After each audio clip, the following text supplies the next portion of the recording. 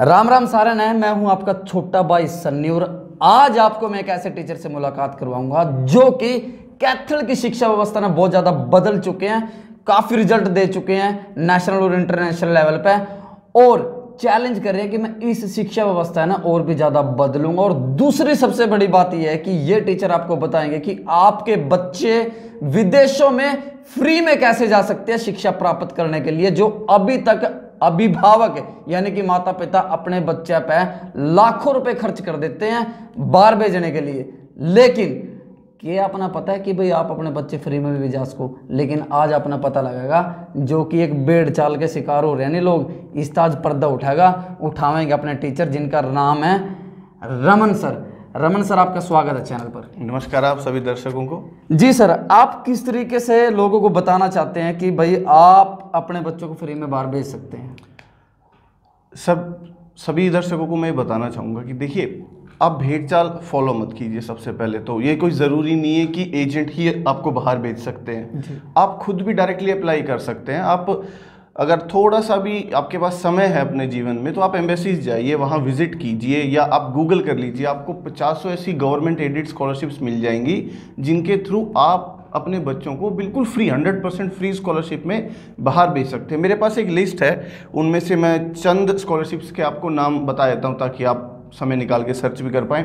इनमें से एक है Nehru master scholarship Kalam climate fellowship Nehru doctor doctoral research fellowship है ग्रेट वॉल प्रोग्राम है नेशनल ओवरसीज़ एजुकेशनल स्कीम है ग्रेट एजुकेशन स्कॉलरशिप है J N Tata endowment higher education program है और ना जाने कितनी ऐसी स्कीम्स हैं जिनके थ्रू आप विदेशों में फ्री शिक्षा पा सकते हैं।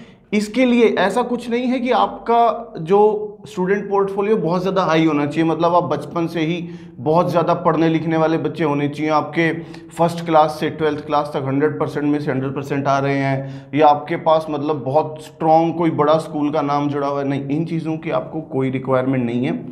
आपके पास एक बेसिक परसेंटेज मान लीजिए seventy five to eighty percent इतना होना चाहिए। सेकंड आपका एसओपी स्टेटमेंट ऑफ़ पर्पस बहुत ज़्यादा स्ट्रांगली डेवलप्ड होना चाहिए।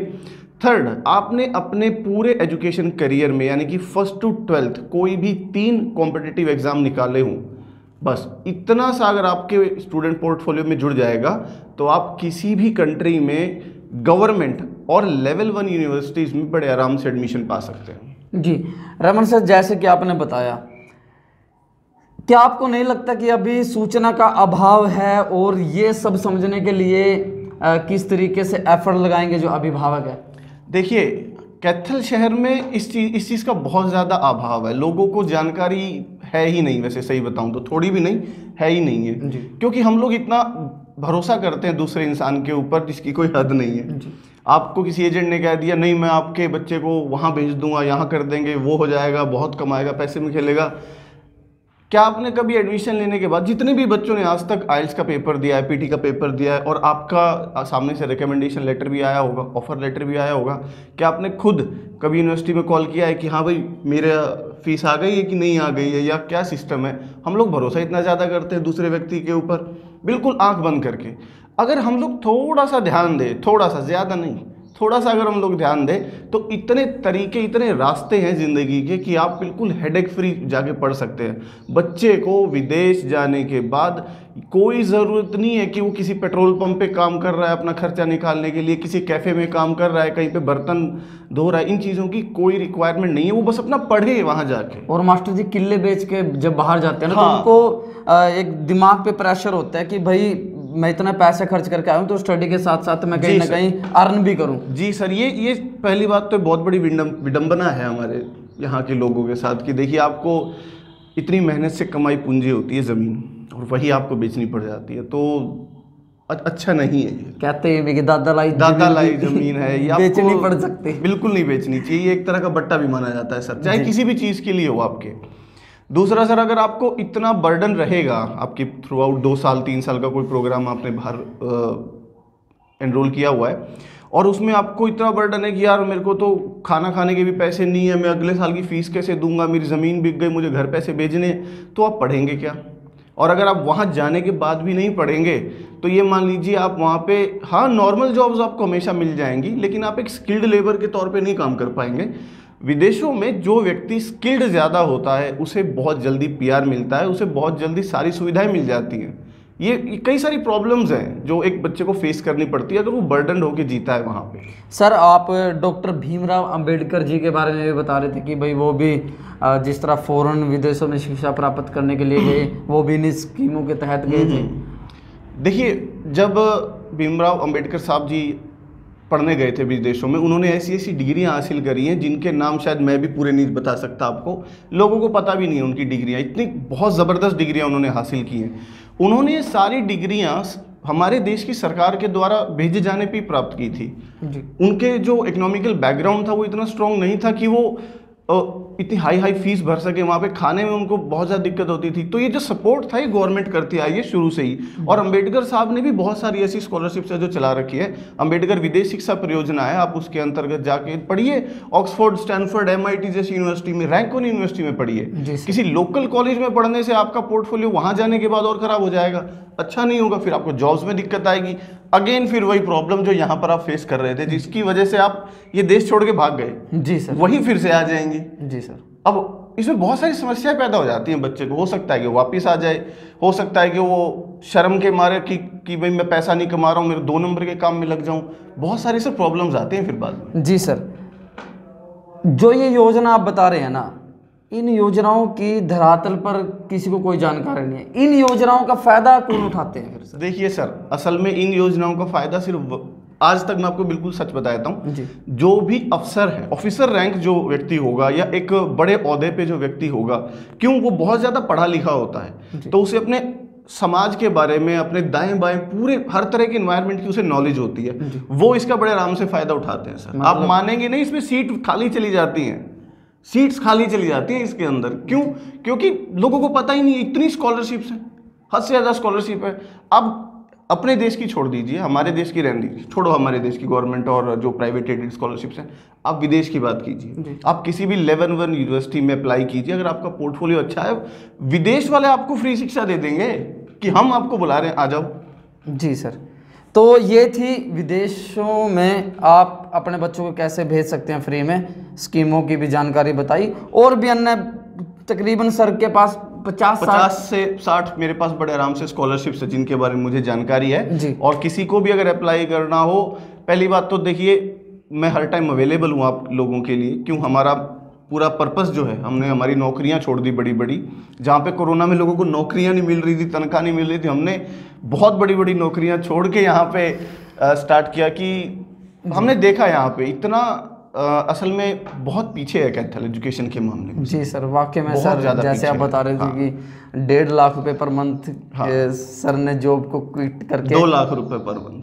तो दो लाख दो लाख रुपए पर। मंथ और अपना जो इंस्टीट्यूट है वो सर ने शुरू किया और हाँ। रिज़ल्ट भी काफ़ी अच्छे आ रहे हैं। सर रिज़ल्ट एक बार बताओगे सर मेरा जो फ़र्स्ट रिज़ल्ट था वो है अजय सिरोही और कैथल ब्रेकिंग टीवी में उसका इंटरव्यू भी आया था। असल में वो लड़का चाय बनाता था तो एक दिन ऐसे भेंट हो गई तो बहुत इंटरेस्ट था उस लड़के को पढ़ने में कि सर मुझे पढ़ा दो किसी तरह से बट आ, मैं अफोर्ड नहीं कर पाऊँगा आपके चाय का खोखा है उस चाय का। खोखा है उस लड़के का। तो हमने भी फिर बिल्कुल अपना खुले दिल से स्वागत किया कि हमें पैसे की ऐसा कोई रिक्वायरमेंट नहीं है बेटा आप आइए। ठीक है हम आप पे जितनी मेहनत हो सकती है उतनी करेंगे। और उस लड़के ने दिल्ली यूनिवर्सिटी के किरोड़ीमल कॉलेज में अपना सिलेक्शन सिक्योर किया नॉर्थ कैंपस जो कि भारत के सबसे बड़े टॉप कॉलेजेस में से एक है। उसके बाद फिर सर एनडीए में क्वालिफाई हुए हैं मयंक शोरान और अभी हमारे रिसेंटली इसी मंथ चार इंटरनेशनल रैंक है साइंस ओलंपियाड फाउंडेशन के। नेशनल साइंस ओलंपियाड है। यही वो एग्ज़ाम्स है जो आपके एक स्टूडेंट पोर्टफोलियो को स्ट्रॉन्ग करते हैं। अगर आप ऐसे ऐसे दो तीन एग्ज़ाम और निकाल लेंगे आपको ट्वेल्थ में ज़्यादा परसेंटेज की भी रिक्वायरमेंट नहीं है। आप बड़े आराम से विदेश जा सकते हैं। सर शिक्षा व्यवस्था को आप कैसे चैलेंज कर रहे हो? आपको कहाँ लगता है कि शिक्षा व्यवस्था खराब है? सर खराब नहीं कहूँगा मैं। उतना मोटिवेटेड नहीं है लोग। एजुकेशन सही नहीं है जितनी होनी चाहिए। उतना उस लेवल पे नहीं है जिस लेवल पे होनी चाहिए। देखिए जैसे कि आप लोगों को एक बहुत बड़ी समस्या फेस करनी आ रखी होगी कि यार जॉब्स नहीं है जॉब्स नहीं है अगर गवर्नमेंट जॉब चाहिए सरकारी नौकरी नहीं होगी तो शादी नहीं होगी घर वाले घर से बाहर निकाल देंगे। ठीक है बहुत बड़ी समस्या है हमारे क्षेत्र में ये। लेकिन फॉर्म निकलते हैं एप्लीकेंट्स फॉर्म भरते हैं और एग्ज़ाम होता है और लोग नौकरी भी लगते हैं। लेकिन हमारे यहाँ के लोग नौकरी भी नहीं लग पा रहे हैं। तो इस इस एरिए इस एरिए के। तो कुछ ना कुछ तो गड़बड़ है। सर, गड़, गड़बड़ है फाउंडेशन एक बच्चा जो छठी क्लास से यूपीएससी आईएएस की और इन सब चीज़ों की तैयारी कर रहा है, आप उसे कैसे हरा देंगे? कोई भी नहीं हरा सकता। कैथल में क्या है, जब आप ग्रेजुएशन कर लेते हैं, यानी आप बीए बीएससी या बीकॉम जैसी कोई भी आप अपना ग्रेजुएट प्रोग्राम कंप्लीट करते हैं आप तब सोचते हैं अच्छा अब सरकारी नौकरी की तैयारी शुरू करनी चाहिए। तब तक बहुत लेट हो जाता है। आप रेस में इतना पीछे हैं कि जिसकी कोई हद नहीं, आप नंबर भी नहीं ला सकते पूरे। और अगर आप तैयारी भी करते हैं तो आपको तीन से चार साल तो पहले वो बेसिक तैयारी है, वो लेवल बिल्डअप करने में चला जाता है। क्यों? बहुत से लोगों की वो रहती है प्रॉब्लम मेरा तो मैथ्स वीक है, मेरा तो बेसिक वीक है, मेरा तो जीके नहीं हो रहा, मेरा जीएस नहीं हो रहा। अरे, होगा कैसे? जब फंडामेंटल्स ही हमारे वीक हैं तो हम लोग एडवांस को इतना हाई कैसे डेवलप कर लेंगे? सर, किस तरीके से आप बदलोगे शिक्षा व्यवस्था को, बात करें तो। देखिए, बदलना कुछ नहीं है। हमारा जो मोटो है, हमारा मोटो बड़ा सरल है कि हमारे पास जो भी आता है, हम उसे छोटी कक्षा से ही आईएएस लेवल की तैयारी कराना शुरू करा देते हैं। छोटी कक्षा मतलब आठवीं कक्षा से ही हम लोग बच्चों को आईएएस और इन सब चीज़ों में इंडल्ज कर देते हैं कि बस जितना हो सकता है आप इन्वॉल्व रहिए। और बिना उन्हें ये पता चले कि उनको हम लोग प्रेशर हैंडलिंग सिखा रहे हैं साइकोलॉजी सोशोलॉजी ये सब चीज़ें सिखा रहे हैं। बस मज़ाक मज़ाक में बातों बातों में थोड़ा थोड़ा ऐसे करते करते हम उन्हें बहुत ही खतरनाक स्टूडेंट में कन्वर्ट कर देते हैं। और आने वाले टाइम में वो सरकारी नौकरी में जाना चाहे, सरकारी नौकरी में जा सकता है, विदेश जाना चाहे, विदेश में जा सकता है डॉक्टर बनना चाहता है एनडीए में जाना चाहता है या कुछ भी जो उसका मन है वो आराम से कर सकता है क्यों क्योंकि उसने प्रेशर हैंडलिंग सीख लिया उसके जो मेंटल रिफ्लेक्सीज हैं वो बहुत ज़्यादा शार्प हो जाते हैं सर यदि बच्चा आपके पास आया हम्म। तो आठवीं क्लास में मान लो आपके हाँ, पास हो एडमिशन गया।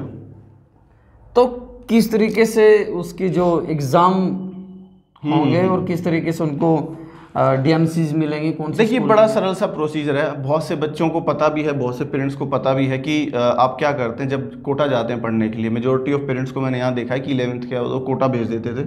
अब तो लॉकडाउन में नहीं भेज रहे हैं तो उनका नाम चलता रहता था और वो कोटा में अपनी कंप्लीट एजुकेशन करते थे। बस फाइनल एग्ज़ाम स्कूल्स में होते हैं सारा कुछ आपको स्कूल से मिलता है। वही चीज़ें हम भी करते हैं। अच्छा अच्छा ये रमन सर जो कि आपको अहम जानकारी देते हुए सर यदि कोई और ज़्यादा जानकारी आपसे लेना चाहते हैं तो आपसे कैसे संपर्क सर आ, मेरा पर्सनल मोबाइल नंबर मैं आपको बता देता हूँ वो है seven two zero six two six triple four nine बहत्तर ज़ीरो बासठ चौंसठ चार सौ उनचास।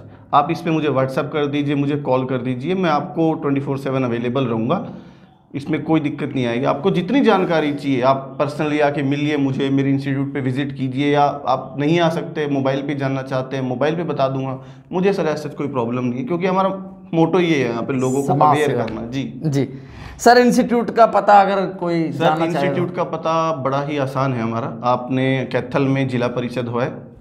जिला परिषद के साथ गली नंबर पाँच Janakpuri colony house number three. ये पीजीआई की तरफ़ जो पीजीआई की तरफ़ जो है हमारा गवर्नमेंट हॉस्पिटल बोलते हैं लेकिन इसको पीजीआई के नाम से लोग ज़्यादा जानते हैं क्योंकि यहाँ पीजीआई आने वाली थी जो कि कैंसिल होगी।